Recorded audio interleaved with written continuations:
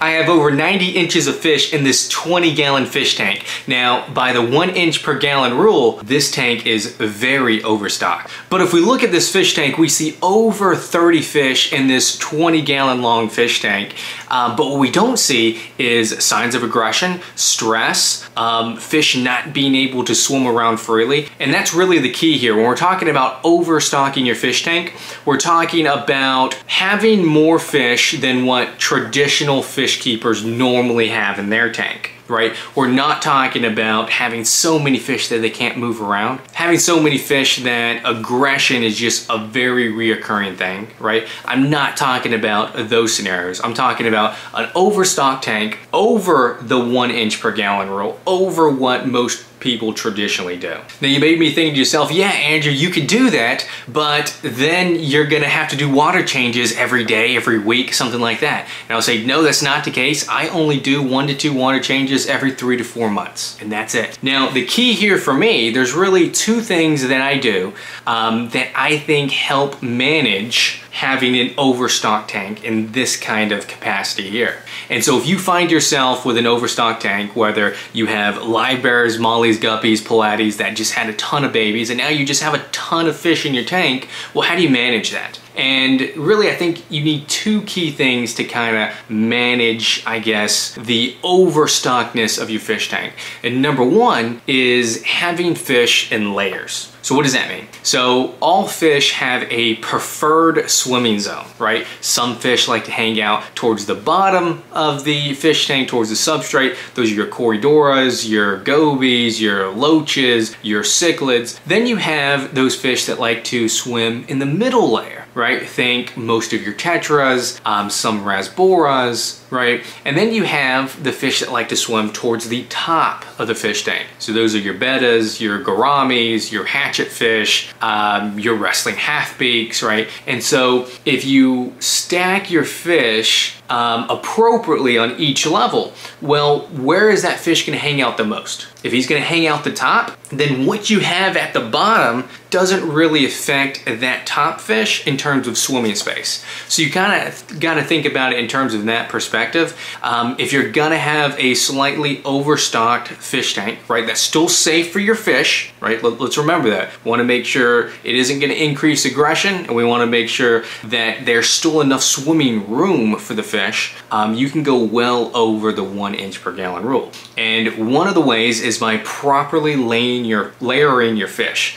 And so a good thing you guys want to do is research, okay, what layer of the water column does this fish swim at? And if you guys aren't sure of the answer, I went ahead and made a Excel downloadable on my website, thedirtytank.com. Go ahead and take a look at it. Um, you just have to put your email address in. Uh, it's completely free and I will send you my downloadable of all the different fish and their preferred swimming layer. And that way you just have a quick glance to know exactly which fish and where he's gonna uh, swim at to see if he's compatible from a water column um, perspective. Now, the second thing that helps me manage having a overstocked fish tank is having a ton of filtration. And I'm not talking about filters, I'm not talking about canister filters or internal or sumps or any of that.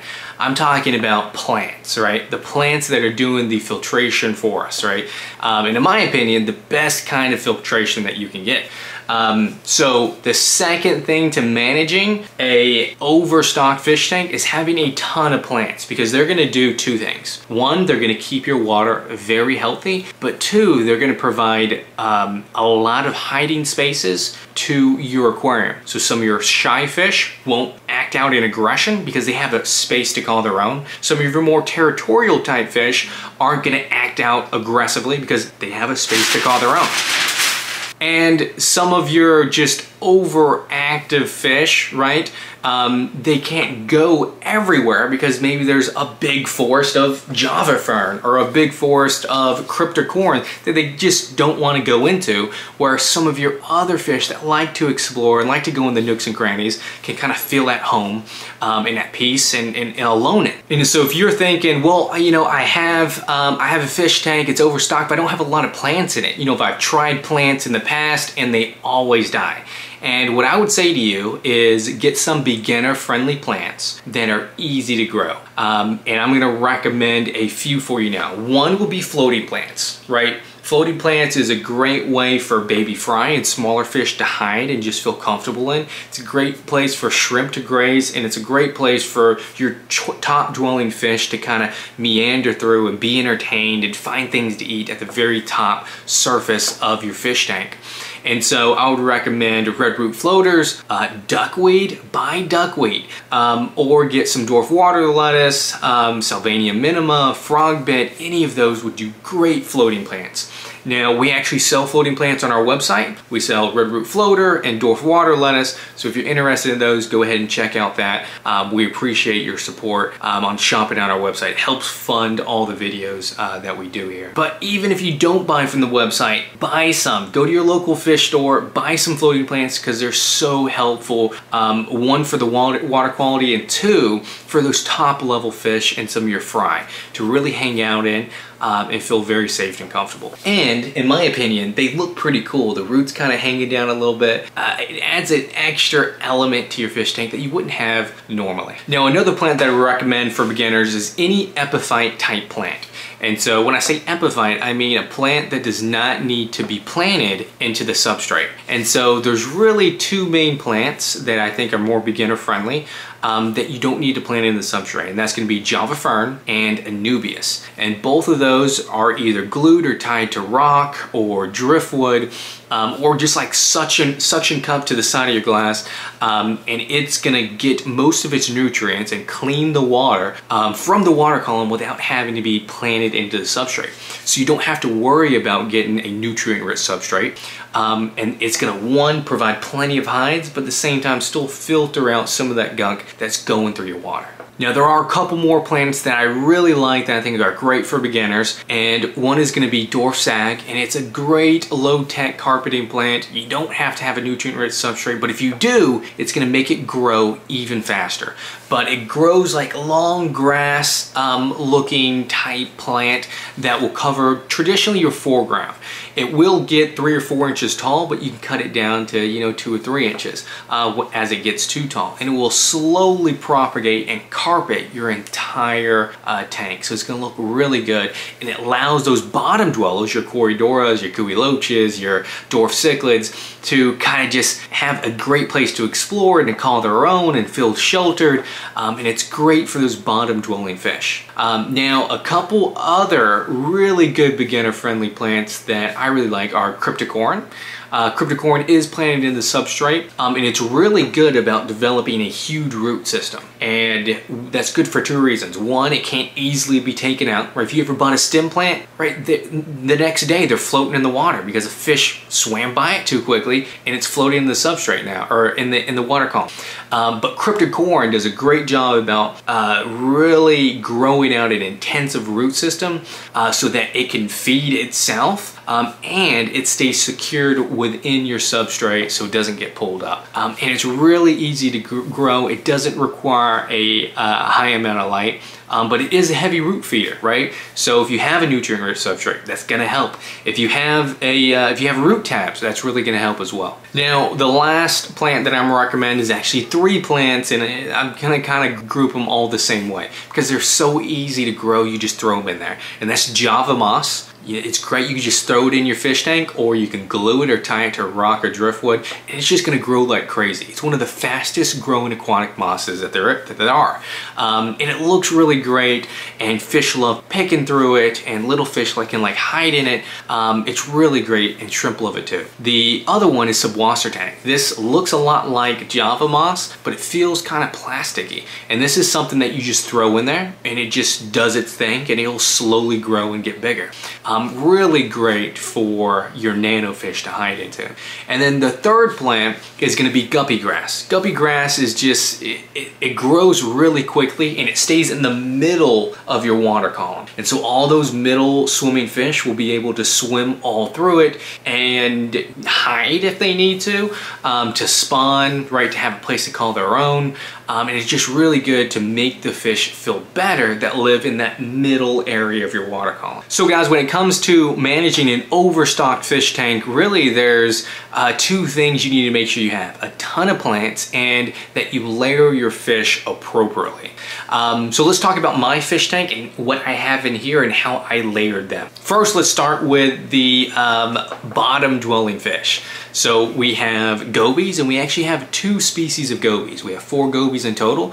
We have one that's called the Chinese vermilion goby and this thing's a little micro predator. It's really cool and they are they do get territorial so they're gonna have to have hides that they can call their own and they'll kind of dig little caves um, next to rocks or driftwood where the sand is. So I do recommend a sandy substrate for most all of the fish that I'm gonna talk about. Um, but the Chinese vermilion goby is really cool. He'll feed on little baby shrimplets and he'll even hunt down little baby uh, fish fry. Um, but a really cool fish, he'll eat flakes and pellet as well, so he's very easy to take care of. Now the other goby that we have is the Stiphodon goby or the electric blue neon goby. This one's a little bit more common. You can find them in big box pet stores um, and in most of your local fish stores as well. Now they mainly eat uh, algae and biofilm, so they're very different than the Chinese vermilion goby. Um, they don't hunt as much, right? They prefer algae and biofilm, but I still find them eating flakes that find its way to the bottom as well. Uh, they are kind of territorial as well, so you want to get an appropriate number um, to the amount of hides that you have. They're also going to dig a little cave, right? Um, right at a base of a rock or a driftwood where the sand kind of meets that rock or driftwood. And they're going to kind of make a little cave there, and that's going to be their home. It's really cool to watch them moving around and having little scuffles. Uh, the other bottom dwelling fish I have in here, I have a group of six pygmy corydoras. They are the smallest corydora and they're absolutely adorable. Um, if you haven't heard of, you haven't looked at the pygmy corydora, go ahead and check them out. They're really, really cool fish um, and they're absolutely adorable. Now they're gonna stay in that bottom column, but occasionally they go to the middle, middle column um, and they eat anything that falls to the bottom. So your flakes, um, in your pellets and you can even put some you know cucumber or, or, zucchini in there and they'll munch on that a little bit as well.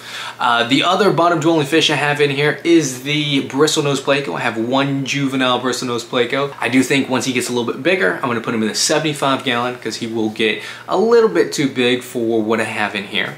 Um, but a great cleaner fish and he mainly hangs out at the bottom level of the tank. Uh, the other fish I have in here are a school of kuhli loaches. I have a small school of loaches um, and they love hanging out in this what I call the Java fern forest back here, right? Because kuhli loaches, as you know, they like to hide and they are nocturnal fish. So they normally only come out at night and they're gonna sift through the substrate. So it's really important to have sand because how they eat is they take a mouthful of sand and they eat whatever food's in there and then they sift out all the sand through their gills. Um, so really cool and fun fish to, to watch whenever they do eat. And traditionally, they're gonna come out right when you feed them at night. So if you do get loaches, I encourage you to start feeding at night because then you'll actually see them. Um, the other fish that I have uh, at the bottom level, and this isn't a fish, but I counted it just because it's so big, and it's a vampire shrimp. Now vampire shrimp, they get like this big, they get gigantic. Um, but I never see him because he just hides in this Amazon sword forest the entire time. Uh, but they're really cool. They're a gentle giant. They don't have any claws or clippers or anything like that. Um, instead, they have fans for hands right? And what they do, they're a filter feeder. And so what you'll see them doing, you'll see them going like this, like they're just waving. And really those fans are catching any of the little particles in the water column. And that's how they eat. They catch the particles, they eat it, they catch the particles, they eat it. And so what you'll traditionally find them doing is they're gonna search until they find an area with a decent amount of flow, and then they're gonna stay there forever. And so I have a filter right here. And so the output of the filter is pouring water here. And so it's and so that's why it likes this spot because there's a constant flow bringing in those small particles that it can grab and eat. Um, so a really cool shrimp. Um, that I have in the bottom layer. Now let's go ahead and talk about the middle layer. I really have three types of fish in the middle uh, layer of the water column here. And that's gonna be your ember tetras. There are small fish, maybe half an inch to an inch long, um, and I got a decent sized school of those. And then I also have x-ray tetras. X-ray tetras get about three inches. I have about six or seven x-ray tetras. They're one of my favorite schooling fish. They're a transparent body with a black eye. That's my favorite thing about them. They got little pops of red on their tail too, but a really cool transparent fish. So if you're into transparent fish, give the x-ray tetra a try. They're really, really cool. Um, and then the third fish that kind of schools in here is the rummy nose tetra. And they hang out in the middle layer of the water column as well. Um, they have the signature red nose and they actually have a superpower. So that red nose, the brighter the red nose, the happier and healthier they are. Now when that red nose starts to fade away, then you know something's wrong, right? Something's wrong with their water quality or they're being stressed out, something's wrong. And you kind of want to look at the tank, test your water to see what it is. Um, but that's kind of their superpower. The brighter the red, the better. The paler, eh, something's off, right? And so those are the fish that I have in the middle layer of the water column. So let's talk about the top layer. Now the top layer, what I have in this fish tank is guppies and endlers. So I have a few fancy guppies and I have a few rainbow endlers. And these endlers are absolutely gorgeous. Um, I love endlers. I personally prefer endlers over guppies, um, but I recently got into breeding guppies and endlers, right, and having little hybrids. Um, so I have uh, Guppy Endlers hybrids for sale on the website if you guys are interested at looking at that. Um, really cool fish, and a lot of people think um, hybrids can't reproduce, and that is true and false. So Guppy Endler hybrids can reproduce, but Guppy Molly hybrids can't. So it just depends what the hybrid is. Uh, but this is a really cool, very friendly fish. And my favorite part about this fish is one, they're so colorful and active, but also they're a great dither fish. Now, what is a dither fish? For those of you who don't know, a dither fish is just a really active and outgoing fish that makes all your other shy fish feel comfortable. So if you have a problem with fish always hiding and never coming out, well, you probably need dither fish, right? You need another fish that's out there that will let that one that's shy feel like, okay, he's swimming about. It must be safe. Let me swim out about. And so if you're thinking, if you have that situation where you have fish that are hide, hiding all the time or they're very skittish, get some dither fish. The type that I recommend are guppies or endlers. I think they're great, great dither fish. Um, and they're gonna occupy that top level. They kind of swim everywhere, but they spend most of their time at the top level of the fish tank. All right, guys, that's gonna wrap up our video for today. Thank you guys for joining. But if you're interested in becoming a better fish keeper in just 10 minutes per week, then click the link below in, in our description to join our free newsletter where I'll be sending out tips and advice on breeding, aquascaping, and all things fish keeping weekly. Thanks, guys. See you next time.